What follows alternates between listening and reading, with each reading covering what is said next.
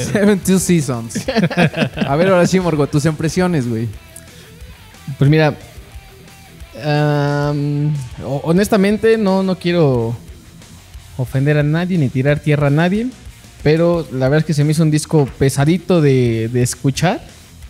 Siento que las canciones no del todo son malas, pero todas se parecen bastante. Sí, la claro. verdad es que diferenciar entre una y otra sí me costaba un poco de, de trabajo. Digo, no, no son idénticas, ¿no? Pero siento que todas llevan un ritmo muy, muy parecido. No Es un, disco, es un disco largo, eh, la mayoría de las canciones duran eh, más de 5 minutos, 5 o 6 minutos. Tienen una que de hecho es la canción más larga que ha grabado Metallica, Sí. 11 minutos para cerrar el disco. Y sí, desafortunadamente muchas canciones pues no daban para tanto. No vamos a tratar de también tocar los puntos positivos que llega el disco. Pero cuando una banda como Metallica saca disco es muy difícil no, no tratar de hacer comparaciones con sus mejores materiales. Este, todos sabemos que Metallica eh, pues ya pasaron sus mejores años en cuanto a composición. Pero pues siempre que sacan disco la verdad es que sí nos dejan pues esperando algo, algo bueno, ¿no? Algo interesante. Entonces, estamos escuchando la primera rolita, Seven Two Seasons. Nefil, tú, tú traías ahí comentarios de esa canción.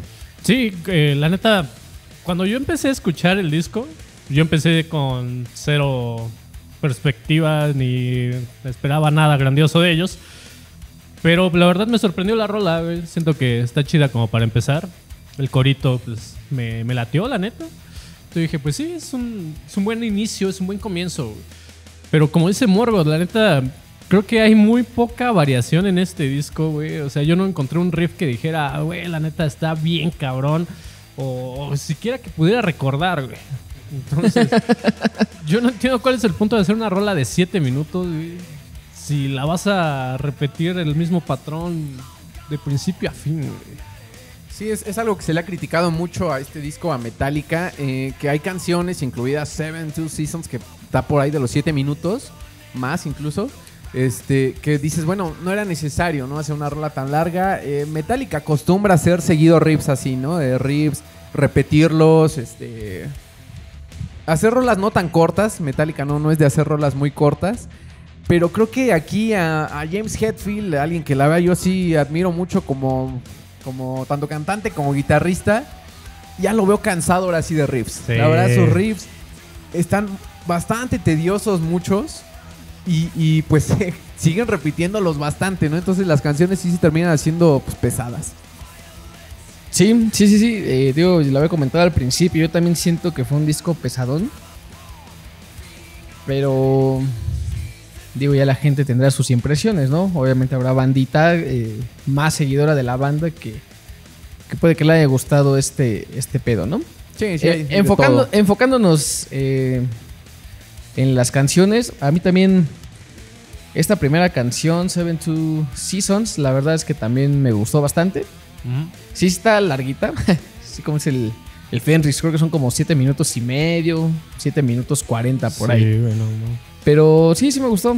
La verdad es que siento que el disco va de más a menos. Siento que empieza muy bien y conforme avanza ya de la mitad para abajo, siento que al menos a mí fue cuando un poquito más pesado se me hizo escuchar las, las rolas. güey. Sí, güey. Y eh, bueno, como decía Fenris, el- ha- han hecho la canción más larga en su historia, ¿no? De 11 minutos y, y cacho, ¿no? Entonces, yo esperaba como que, pues algo, algo diferente, algo interesante en esta rola, güey. Pero la verdad es que yo no encontré así como que un, un plus, ¿no? O sea, o el por qué extenderla hasta 11 minutos. O no sé ustedes cómo, cómo percibieron esta rola. Sí, sí, definitivo, no, no daban para hacer esta canción. Quisieron tal vez innovar un poquito. Eh, también a Metallica, algo que se le ha criticado mucho, sobre todo a Kirk Hammett, es eh, lo poco que se involucran a la hora de componer. O sea, Kirk Hammett también ya. Ese cabrón en una entrevista del, del disco pasado, el Hardwire. Ese güey decía, fue un disco muy bonito porque pues yo me metí a grabar y los solos salían solos, ¿no? Ni, ni los tenía yo preparados. Y- dice, todavía hubo canciones que tuve que escuchar para volver a sacar los solos, ¿no? La grabó bien drogado, yo Sí, creo. sí, estaba, haber estado bonito para ti, cabrón, pero... uno como músico, pues sí, uno como, como fan sí tendría que exigirle un poquito más, ¿no? Eh, creo que Metallica, la verdad, saca este disco eh, pensando directo en la gira. Creo que esa fue la, la mayor motivación. Hacer una gira en la que va. ya dan dos, dos conciertos por. bueno, dos fechas, ¿no? En cada presentación van a dar dos fechas con sets diferentes. Ojalá que alguien nos explique eso, porque de verdad. Chile, yo no termino de entender cómo está ese pedo aquí en, Mira, yo- en yo los lo conciertos que- de México. Lo que entiendo, güey, es que aquí en Ciudad de México, en el Foro Sol, digamos que va a dar eh, dos fechas, pero bueno, cuatro fechas, dos conciertos. Y cada concierto consta de dos fechas. es como el dos por uno los tacos, ¿no? Más o menos. Si, más si o tú menos. dices, tráeme cinco tacos, te dan diez, güey. ¿Dos para cinco? No, eso sí está bien verga. no sé, güey. Lo cual sonaba interesante hasta que escuchas el disco y dices, verga, si un día van a presentar todo el disco. y bueno, lo que ellos tratan de hacer pues, es venderte ya, pues no un, un boleto, sino un abono, ¿no? Para los dos días. Claro. Y van a ver sets completamente diferentes en una fecha y en la otra. Obviamente en cada set pues, va a haber la mitad de un disco, ¿no? va a haber la mitad del La mitad disco, en un día y la mitad en otro.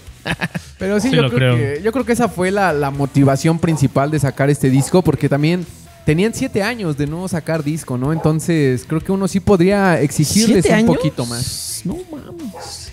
Siete años, ¿no? ¿O tengo mal la, la fecha? No, no sé. No recuerdo de parece que sí, Hardwire. Hardwire, siete años. Wow. O sea, sí tenían para... Sí, claro.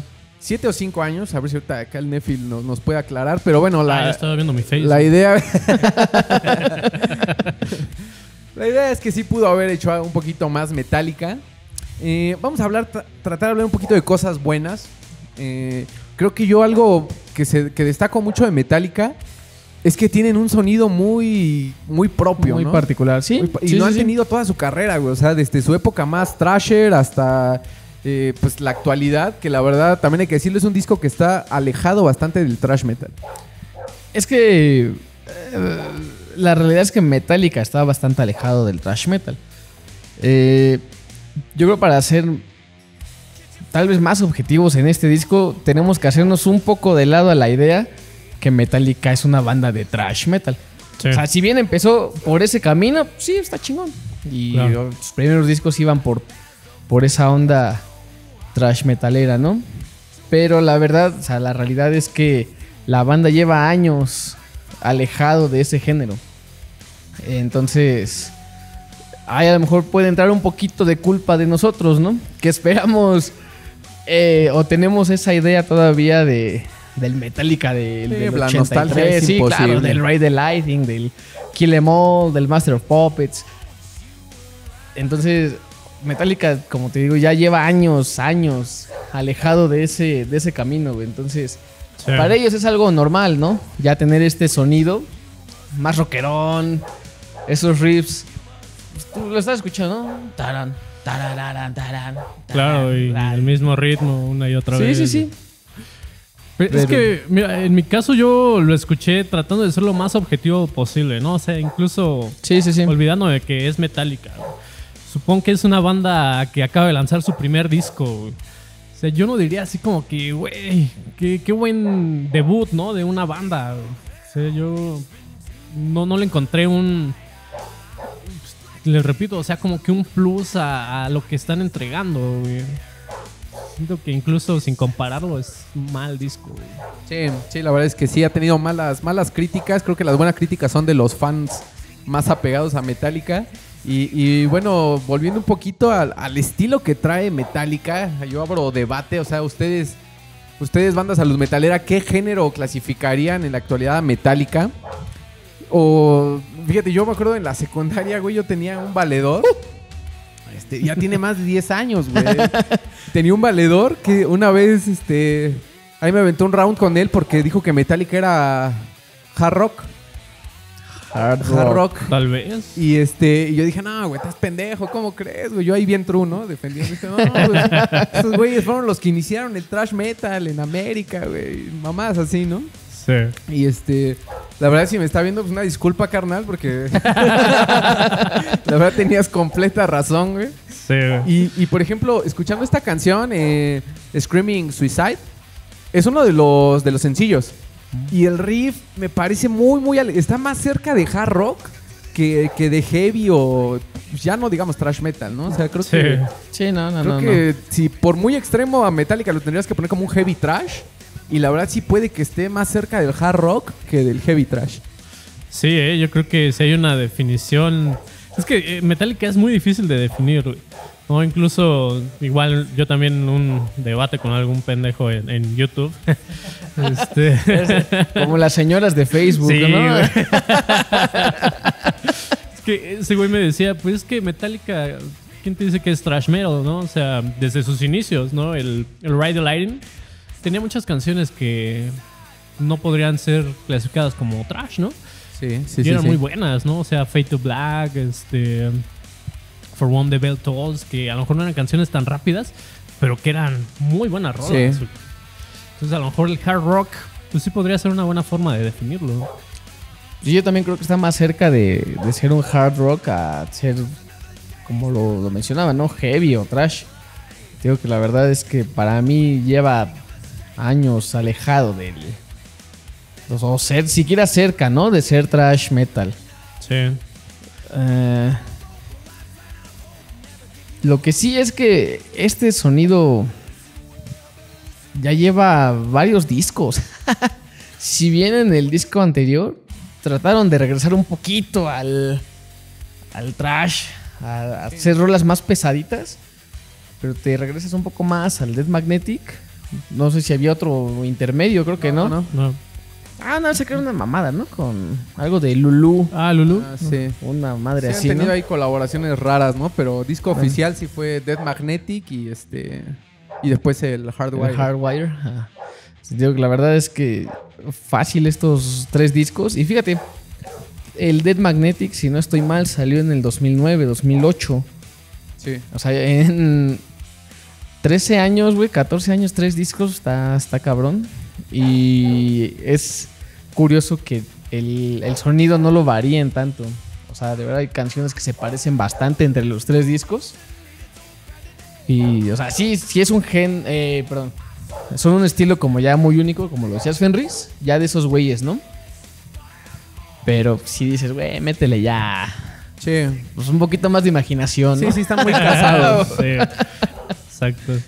Están muy casados con su estilo y como dices, este... Me voy a empedar por eso.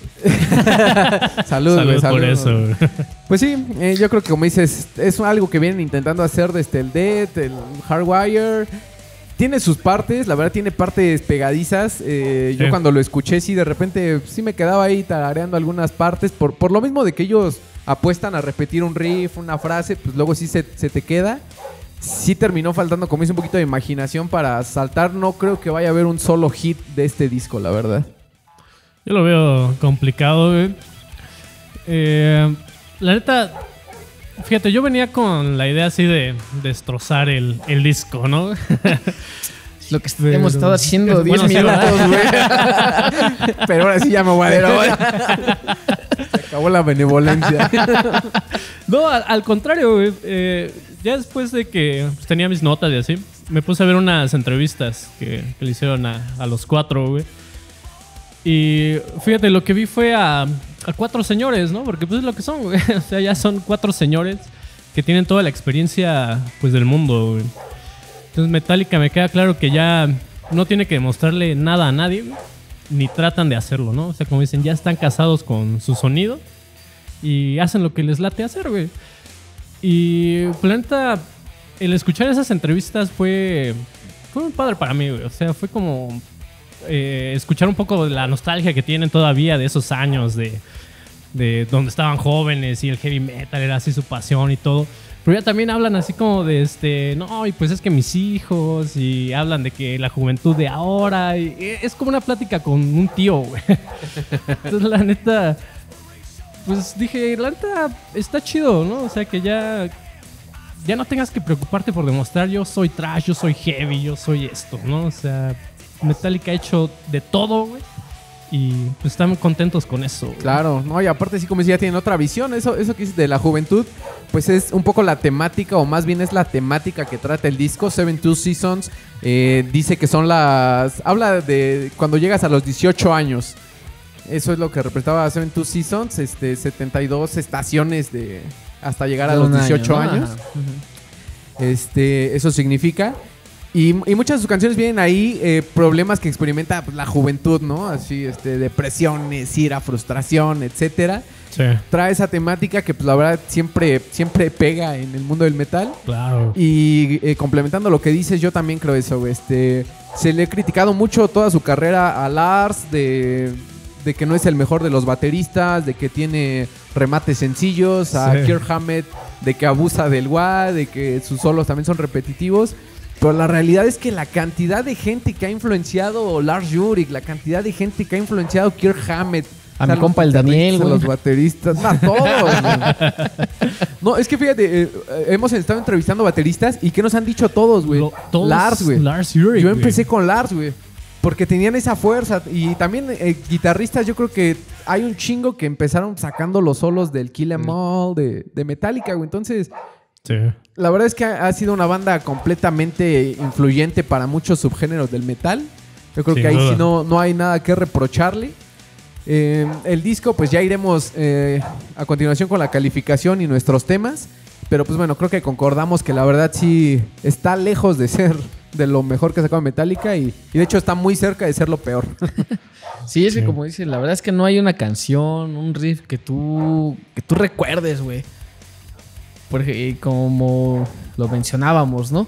Entonces, yo me acuerdo en el Hardwire, yo tengo muy presente la rola de, de Atlas, ¿no? Atlas Rise. O sea, el corito de esa rola, no mames, está bien pinche pegajosa, ¿no? O sea, si no es una canción realmente rápida, porque no es rápida, pero eh, tiene ese ritmito pegajoso, ¿no? Sí, está o sea, chida. son, son de esas canciones que se te quedan grabadas. Si te vas un disco atrás en el Dead Magnetic, pues, te escuchas All Nightmare Long y es no, pinche, pinche rolón. O sea, hay canciones todavía más. eh, mm, Mejores, ¿no? Ajá, sí, más representativas, ¿no? Así de cada disco. Y la verdad es que de este no, no hay una con la que te quedes. Tal vez ni siquiera por gusto, ¿no? Ya muchas veces que el, el subconsciente te hace como repetir esa parte de, de alguna canción. Pero la verdad es que al menos a mí no, no me pasó. Sí. Pero también lo que comentaban, o sea, de Metallica en general, ¿no? Que yo creo que sí ha sido una de las bandas más, más grandes e influyentes en la historia del metal, lo son. O sea, Sí, sin duda, sin sin duda. duda. eh, ese título nadie, o sea, nadie se los va a quitar. Como, como decíamos, ¿no? Esos güeyes ya hacen lo que quieren, tocan lo que quieren. Sí, y siempre no, no. entre los fans somos los que nos rompemos la madre, ¿no? Es que han Exacto, ofendido güey. muchísimo al metal, güey. O sea, Y esos güeyes siguen ganando con- millones. Han hecho de todo para ganarse el odio de muchos, güey. Sí, güey. Y fíjate, hace rato, eh, perdóname, mencionaban lo de su rola más larga, de 11 minutos.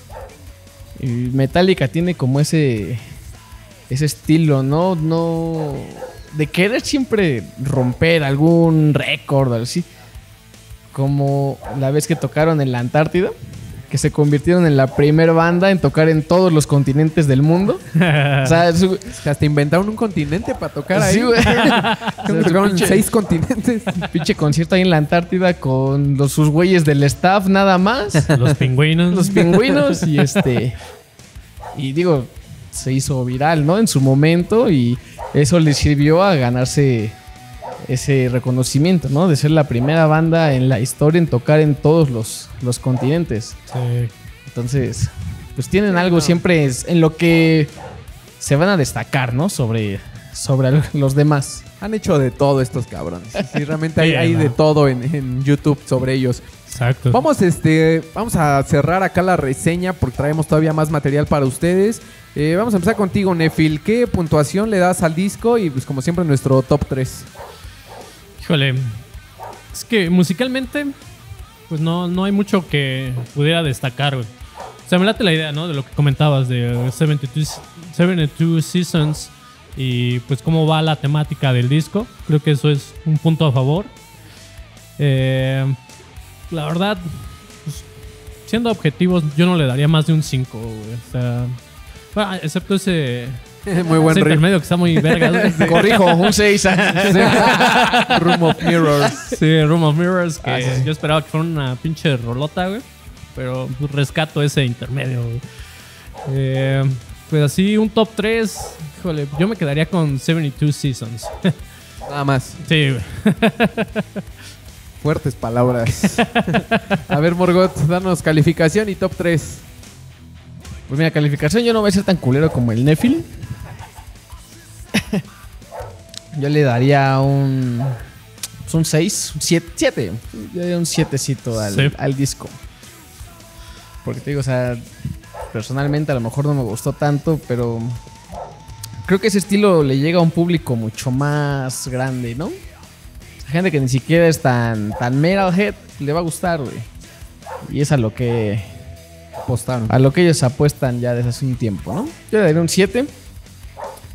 Y en cuanto a mi top 3, yo sí tengo un top 3. güey. En primer lugar pondría Seven Two Seasons. Eh, en tercer lugar, Screaming Suicide. Creo que fue la que quería poner hace ratito, güey. Me Te equivoqué. mamaste, güey. y en tercer lugar, la Deluxe Al- Alterna. Alterna. Alter- no sé cómo pronunciar eso, güey.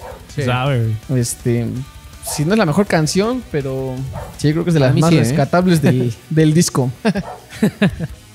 Bien, bien. Tú, Pues. Fenris, ¿qué tal? Eh, yo la verdad en calificación, la verdad también creo que hay que, hay que ser realistas.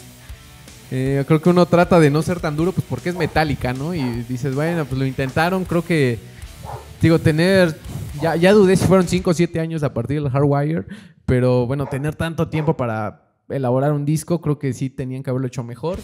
Yo la verdad también, también me quedaría con un 5. Eh, yo también reprobaría al disco.